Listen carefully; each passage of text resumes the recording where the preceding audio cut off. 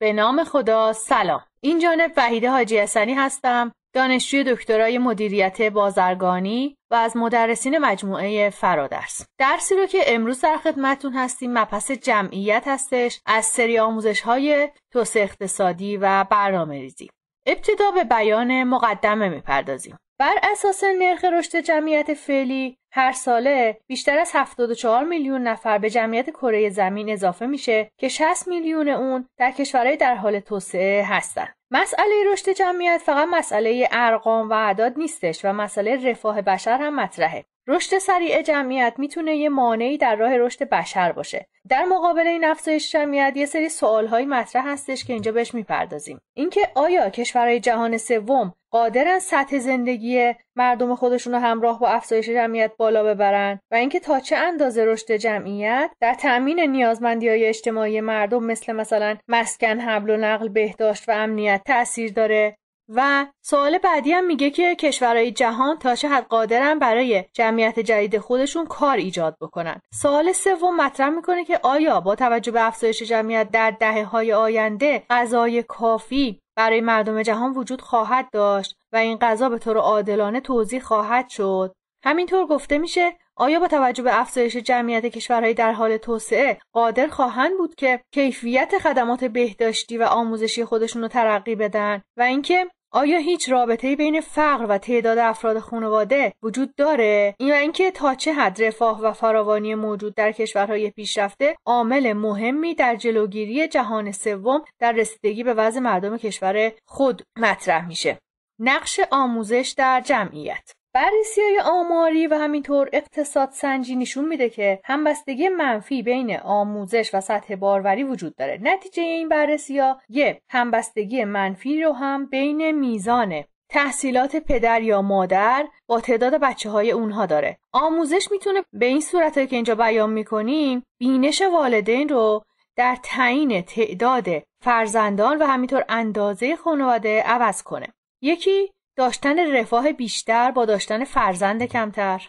و اینکه تأثیر آموزش در آینده فرزندان و تشویق والدین به تربیت و آموزش بچه ها همینطور آموزش موقعیت اجتماعی زنان رو بالا می‌بره و در نتیجه باروری رو کاهش میده.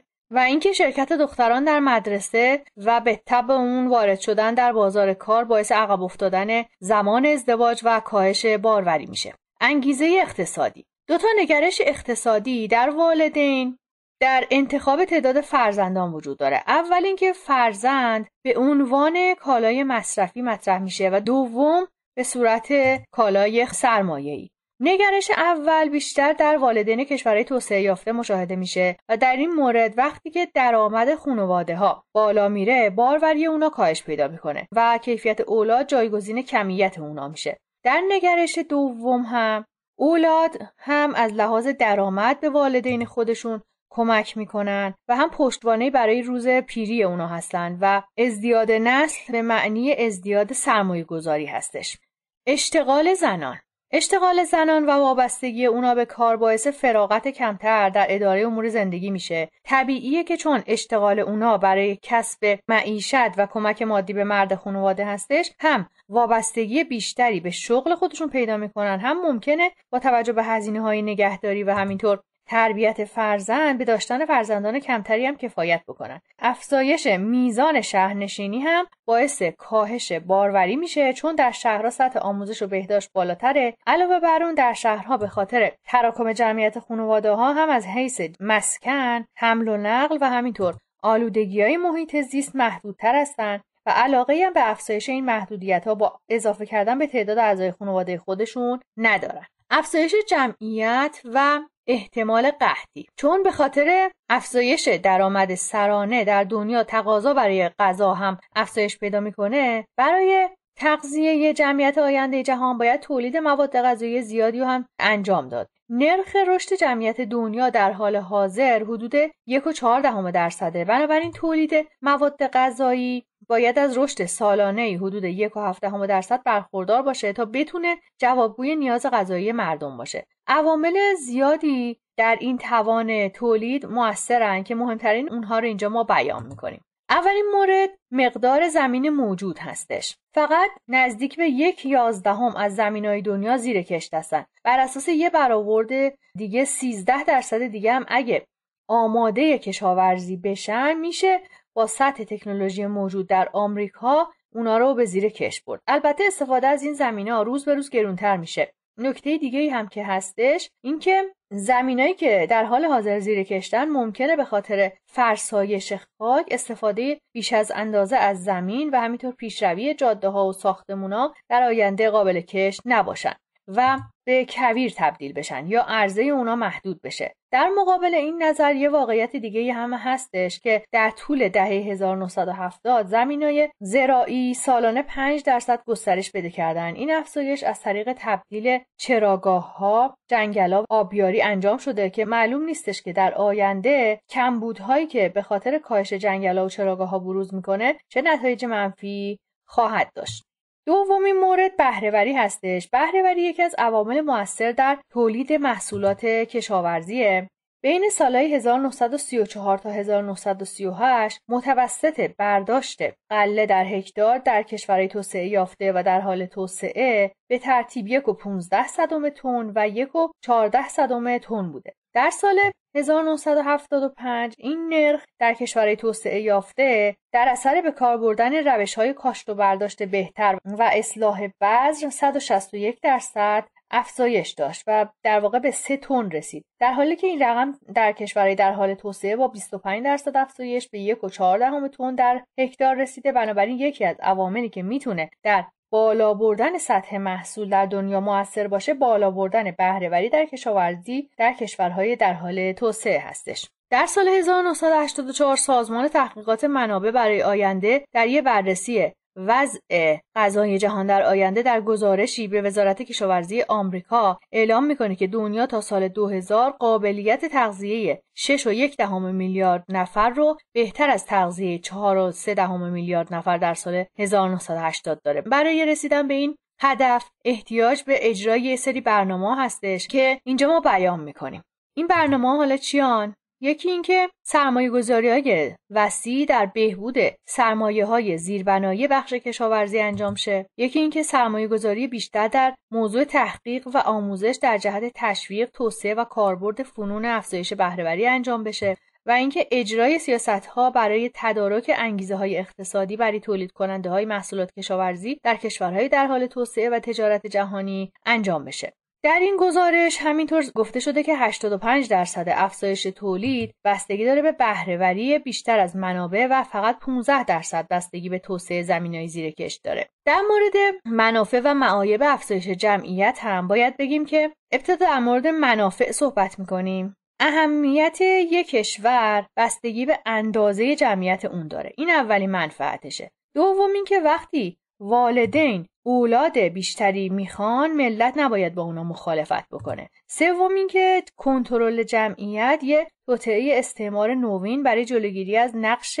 بیشتر کشورهای در حال توسعه در آینده هستش. و چهارمی که تو کشورهایی که خاک فراوون دارن نگرانی نباید برای افزایش جمعیت وجود داشته باشه. و پنجم اینکه اگه کشورهای غنی دست از استثمار منابع طبیعی کشورهای در حال توسعه بکشن و سهم عادلانه این کشورها رو از منابع طبیعی خودشون بدن دیگه مسئله به اسم جمعیت و منابع طبیعی وجود نداره. و ششم اینکه افزایش جمعیت باعث رشد اقتصادی میشه و درآمد سرانه رو هم افزایش میده. و هفتم اینکه افزایش جمعیت با خودش شهرنشینی و مزایای اون رو به همراه داره.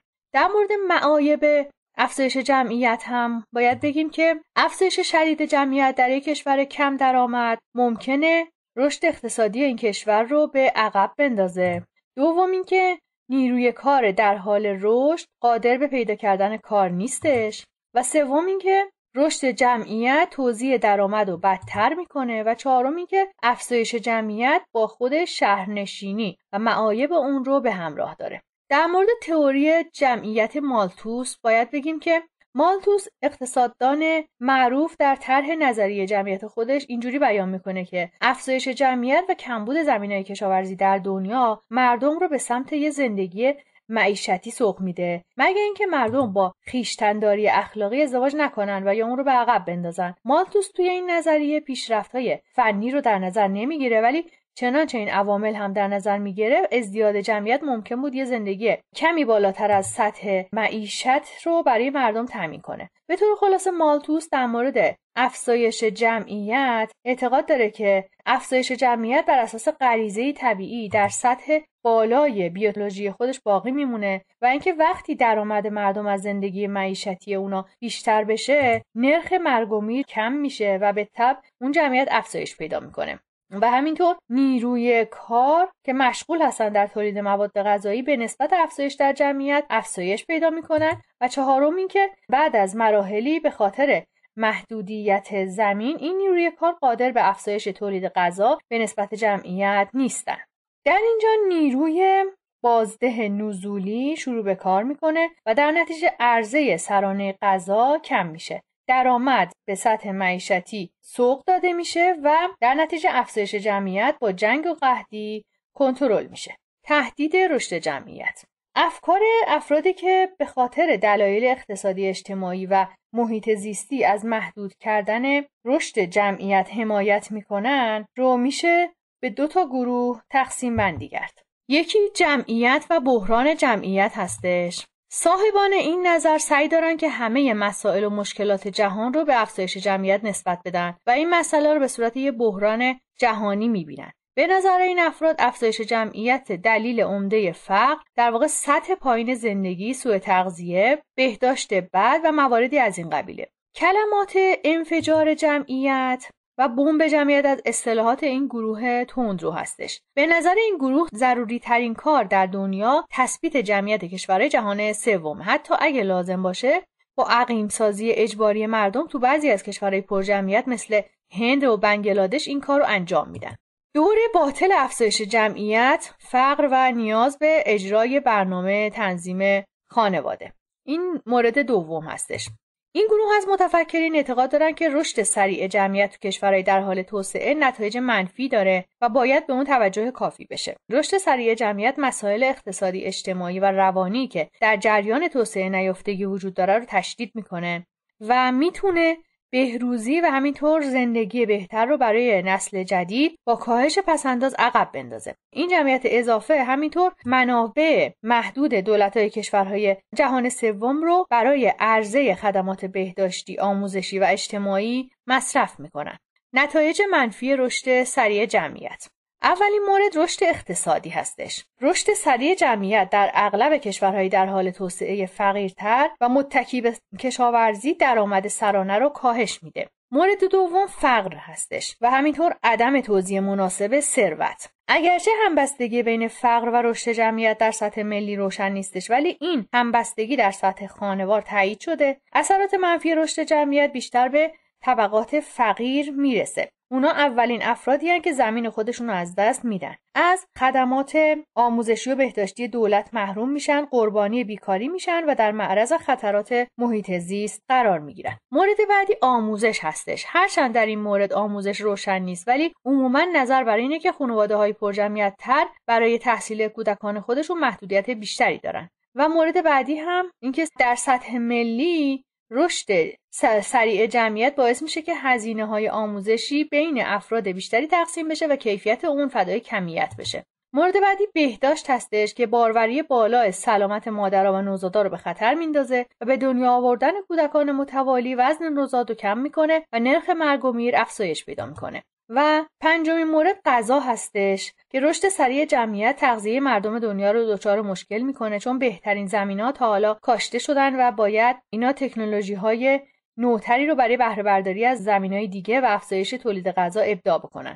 و مورد بعدی محیط زیسته که رشد سریع جمعیت وضع محیط زیست رو در شکلای جنگل زدایی کمبود چوب در اثر سوزاندن اون و آب آلوده و ناکافی و موارد دیگه خودشون نشون میده. و مورد هفتم مهاجرت بین المللیه که یکی از دلایل مهاجرت های گسترده قانونی و غیر قانونی بین المللی رشد سریع جمعیت تو کشورهای جهان سومه. در بین دلایل مختلف برای این مهاجرت ها کمبود کار در کشورهای جهان سوم هم وجود داره. البته برخلاف موارد قبلی بعضی از این هزینه های اجتماعی مهاجرت ها به کشور میهمان هم منتقل میشه. در بخش بعدی وظایف کشورهای جهان سوم در مبارزه با رشد سریع جمعیت رو توضیح خواهیم داد. شاد و سربلند باشید.